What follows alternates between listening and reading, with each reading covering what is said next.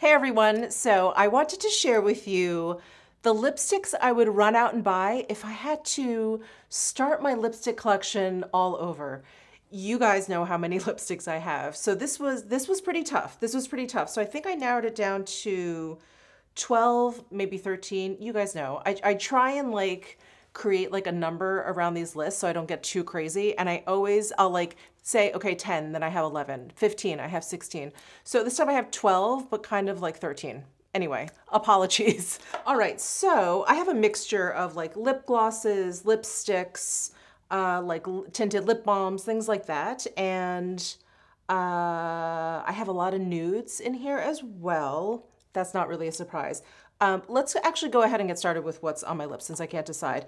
This is the uh, Christian Louboutin So Glow, uh, I think, lipstick. And it is, a, you know, like a moderately pigmented lip product. It's not like a one swipe lipstick, like those crazy pigmented lipsticks, but it's also not as light as a tinted balm. So it's someplace in there, but it definitely feels like a tinted balm. It is such a... Um, it's such a soft lipstick without it being like physically soft in the bullet. Like there are some uh, lip products out there that are just so soft, but they're also like super mushy and they get really, really messy. And if you press down too hard, they kind of spread out and yeah, they get like super sloppy. This is not like that. It's soft, very, very soft feeling, but the bullet is still very firm. So it's a really interesting formula. And I do love that it feels like a balm, but it's, it's just a little bit more pigmented than just like a tinted balm, but not as crazy as like one of those one swipe ones.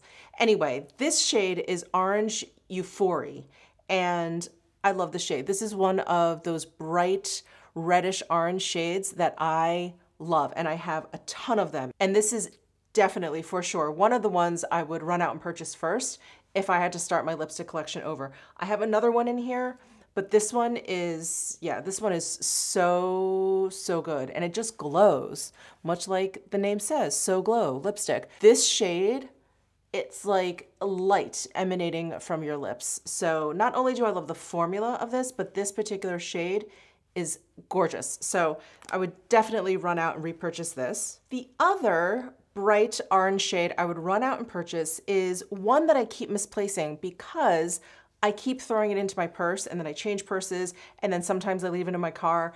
I did a quick search for it in all of the bags that I've recently used Cannot find it, but I think you guys have seen me wear it enough, talk about it enough. It is the Sisley Phyto Lip Twist in the shade number seven, Coral. It is a little bit lighter in pigmentation than this because that one is a true tinted balm. And I would say the color is not quite as fluorescent. It is uh, like a very similar tone, but it's not quite as bright. It's maybe a little bit, a teensy bit redder versus uh, like this kind of fluorescent orange. Um, Gorgeous formula. Love that shade number seven. Of course, I'll pop a picture of it up here because again, I apologize. I cannot find this uh, tinted lip balm. Again, this is, I think, the second video where I've mentioned it and I couldn't find it. Anyway, I may have to get uh, a couple of them just so I can leave them around everywhere. But this is the product where I'm cheating on because um, I decided I would also run out and purchase the Phyto Lip Twist in number 24. So I'm counting this as one product, even though it's two. But this 24 is a gorgeous, gorgeous nude, My Lips But Better kind of shade. And I think you can get a feel for the formula just by looking at this swatch because can you see like the glossiness of it? It is such an incredible formula. I love that it comes in this crayon. I find those, uh, this like shape to be really easy to apply. And yeah, I just, I really, really love this formula. I probably have like 10 shades of this Phyto Lip Twist. Uh, most recently, I got number two, Baby, which is a really light, cool tone pink, and I've been loving that also uh, for my cool tone eye looks. Um, but 24 and 7, those are the two I would run out and get like immediately. Just either place an online order immediately or just run out to my nearest department store and just purchase it again. So uh, the Sisley Phyto Lip Twists, I would run out and get those. And then, yeah, let's just get into the sea of nudes. So this lipstick I actually have not talked about in a while, but I love this lipstick. I love the packaging, which we'll talk about. I love the shade. Um, and I love the formula of this one too. So this is a Bond number nine satin lipstick. And the case for these uh, look very similar to their perfume bottles. It has that kind of uh, hourglass shape to it. And then they have like an old school, like New York City token, subway token on there. Um, these cases are so cool. So you pull this out and this is refillable um, and your lipstick is in there. And then it kind of gets like sucked back in. I don't know if it's like a magnet or it's like, it actually feels like an air suction. It's actually really cool. Anyway, the shade that I pulled out, the one that I really love is Gramercy Park. And I've actually had these lipsticks for a long time and I feel like, I feel like they're still good, but maybe it's time to refresh them a little bit. But here is Gramercy Park. Let me do a swatch. So this is just a great, great, like cooler toned uh, nude shade. And what I love about this formula is it actually feels pretty hard when you first apply it. And I thought, ooh, this is gonna be kind of drying when I first tried these out. But it does this really magical thing. Like once you apply it, once you get past that kind of like, oh, this feels a little bit hard, it like softens up and it just melts into your lips. And then within like a minute, it doesn't even feel like you have lipstick on.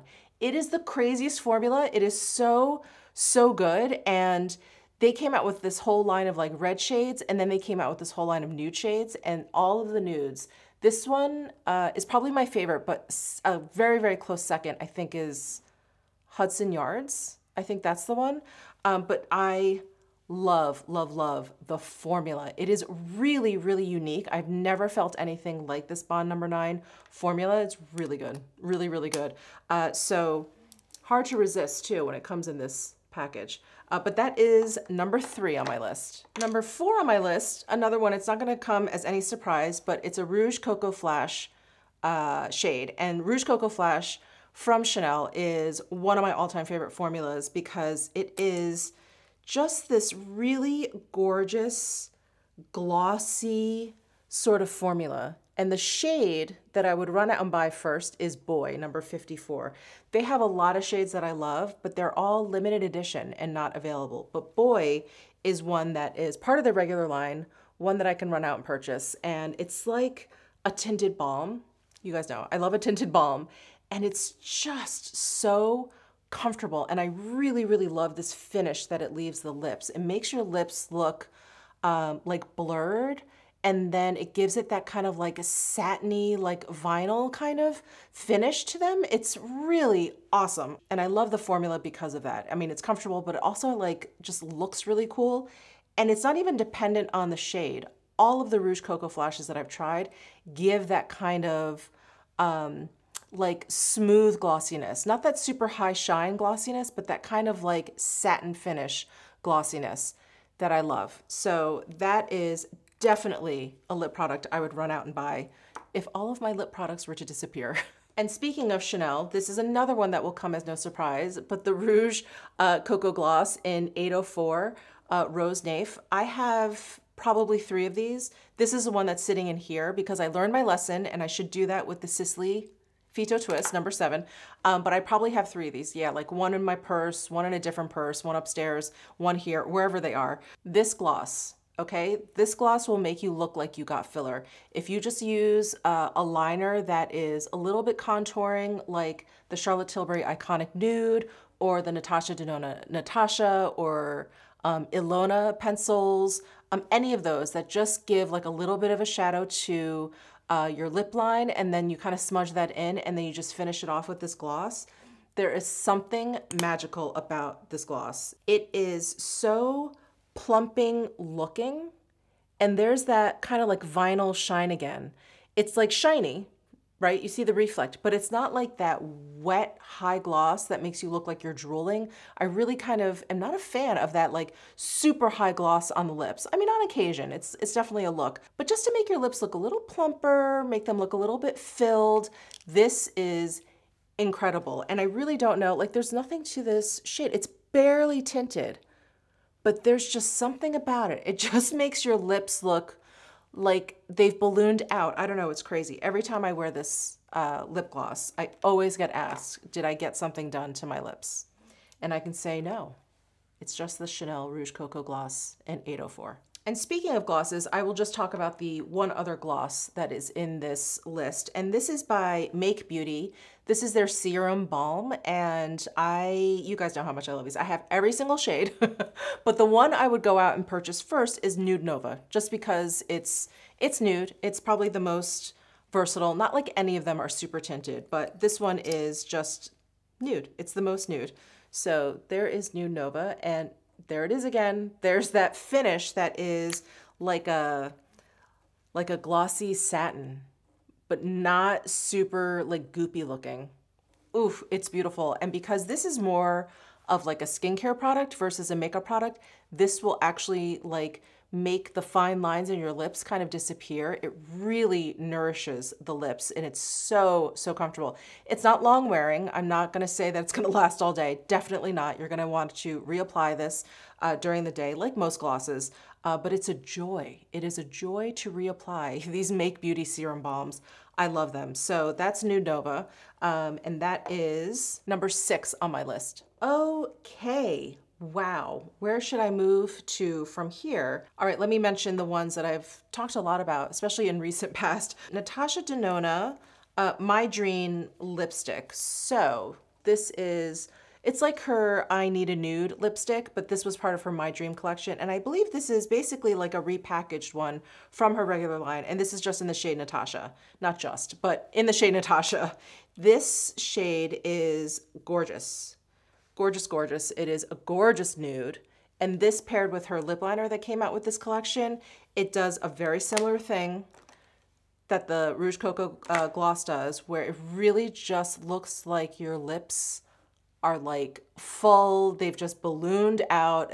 Yeah, they just look like they've been filled. So I do love this cool toned nude. It has like a really strong pinky kind of undertone. So if you're afraid like cooler toned, nude kind of lipsticks will make you look a little bit too corpse-like, I would try this one or try any nude that has like kind of a strong pink undertone because it'll keep it cool. The pink will keep it cool, um, but it'll also keep it from looking too gray, uh, which is that corpse-like look. Um, so anyway, that's the Natasha Denona Natasha lipstick. Um, another nude that I love and another formula that I love is the Giorgio Armani Lip Power. I pulled out shade 102, which it, look how disgusting this is. So this lipstick, I love. I find this formula to be really, really moisturizing, yet it is very long wearing. It is a very, very interesting, interesting formula.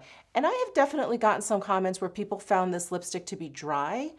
I don't find that to be the case. In fact, I just swatched it and you can see, do you see how emollient it is? I don't find mine to be dry at all. You can even see how glossy it is. Maybe it's just me, or maybe it happens to be a shade that's a little bit uh, drier. I have a lot of shades and I find them all to be very moisturizing. Uh, but anyway, they are very, very long wearing, despite the fact that they go on and they feel like, like a cream lipstick. Just gorgeous. I love the shade range too. They've even extended the shade range, I wanna say a few months ago, to include more nudes, which is great, but this 102 is actually part of their original line and I love it. I really, really love this color and I really love this formula and I love the packaging. I love the shape of this bullet. It's closer to like a stilo shape versus just a traditional lipstick bullet shape and I think it's just easier to apply without making a mess, kind of staying in the lines, just makes it a lot easier. So I love everything about this lipstick. The shades, the formula, the packaging, like everything. That is number eight on my list. And then another lipstick I've been talking a lot about uh, lately are the new Clé de Peau lipsticks. And I pulled out number 12, Power Mauve. And I was gonna pull out number 11, which is the shade that I probably have been using, I don't know, maybe the same, the same amount as number 12. But number 11 is definitely like that kind of ideal cooler tone nude shade that I really love. But I have so many nudes in here. And I thought, okay, if I'm like realistically starting a lipstick collection over again, I would probably want to vary my nudes a little bit. So anyway, I really love this Power Mauve shade from Clé de Peau. This one is cool toned, but it has that rosiness in there, which again, keeps it from looking too corpse-like on your lips. So this is like a gorgeous, gorgeous nude. It's a deeper nude for me. For someone with my complexion, it's definitely deeper than just a straight up nude, but it is Really, really beautiful. And I love, love this kind of cooler toned mauve shade. And then a lipstick that is definitely one of my cool toned nude favorites, which is the Dries Van Noten. And I always forget the number. I think it's 14. It's on the side of this. Yeah, satin number 14. And look at this guy. Can you see how much cooler it is? Actually, I'll swatch it right next to Power Mauve. I mean, swatch next to Power Mauve, it makes the mauve shade look almost warm, but there is number 14 from Dries Van Noten. I love, love, love a really cool toned nude. I am a fan of that corpse, corpse-like lip look. Yeah, so that is Dries Van Noten. And this formula is actually it's similar, similar in feel to the Louboutin So Glow lipstick. I think there's a little bit more, I would say there's a little bit more pigmentation to it, but not a ton. It's not like one of those overly pigmented or, or overly saturated lipsticks. It's just like just a nice, creamy, comfortable, almost balmy kind of lipstick. Um, so that's the Dries Van Noten, and it comes in these gorgeous cases. There's a whole bunch of different ones, and they are refillable, uh, which is very nice. Um, so that is number 14. Um, and then these last two that I wanted to share with you are two that have been around in my collection for a long time. So long that I've actually repurchased them. So the Surratt Lip Slick in Club Sept. This is, I mean, the first time I got this was maybe seven or eight years ago. And I, it was like one of those like revelations because I hadn't worn such a, a fudgy brownie kind of lip in years, in years, years, like we're talking since like the 90s. Um, and I fell in love with not only the shade, the fudgy brown shade, but also this formula. So this formula is, again, it's sort of like a, a like a middle ground pigmented kind of lip product.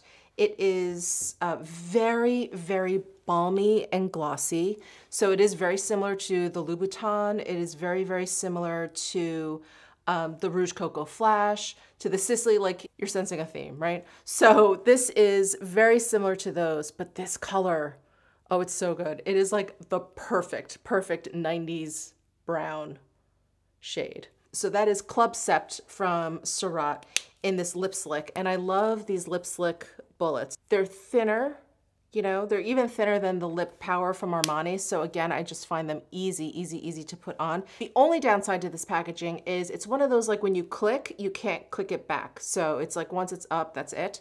Um, at least, yeah, that's how I remember. Yeah, yeah, yeah. that's how it is. I thought maybe I was wrong. Um, but that is Lip Slick Surratt. The shade is Club Sept. Gorgeous. And the last lip product I wanted to mention, I mean, you knew I could not go a lipstick video without talking about Chantecaille. So the Chantecaille Lip Veil, and I'm holding up the box because this is a new one. The other one was too old, um, but it is in the shade Tamboti. And the Lip Veil, the Lip Chic from Chantecaille, both of those lip formulas are so good. They literally feel like skincare versus makeup. I've said this so many times, but it's like a lip mask for your lips. There is nothing more nourishing for your lips than this Lip Chic or Lip Veil either from Chantecaille. And they just make your lips feel so much better after you've worn the makeup than before, which is to me unheard of, especially with lipstick. No matter how nourishing a lipstick can be, you know, sometimes I feel like I can take it off at the end of the day and feel no different, which is great. That's like ideal. But most of the time, especially with lipstick, I'll take it off and my lips will feel a little flaky, a little bit drier, a little parched, um, but they will actually feel better after I wear a Chantecaille uh, lip veil or lip chic. So this is the lip veil in Tamboti, which is another like really perfect, perfect nude shade. Here is Tamboti. See, it's it's pink. It's a little bit, um, you know, prettier than the other ones. This is a little bit more quote unquote natural too versus the other ones, which I feel like were either a little bit more cool toned or deeper or whatever. But this is a very pretty shade. And this also is not like a overly saturated kind of pigmented lipstick. It has Very similar again to all of these like kind of uh, tinted balms or whatever, like the Lip Slick, like the So Glow. It just has like a really nice level of pigmentation, not overly saturated where like I have to be super careful with that first swipe because if I make a mistake, it's all over. Um, this is definitely a lot easier to use than that. Those are the first lip products I would run out and purchase if for whatever reason my lipstick collection just disappeared or was lost or was stolen, whatever the case, if it was, if it left, if it disappeared, these are the first lip products that I would run out and purchase. I hope you guys enjoyed this video. Let me know what some of your favorites are. Like these are favorite favorites, right? Like these are the ones you would run out and purchase. These are all still available too. So that was part of the task here. I couldn't couldn't pick out like limited edition ones that you can't buy anymore. Uh, so anyway, let me know down below in the comment section. Give this video a thumbs up if you enjoyed it. Subscribe down below if you haven't already, and I'll see you in my next video.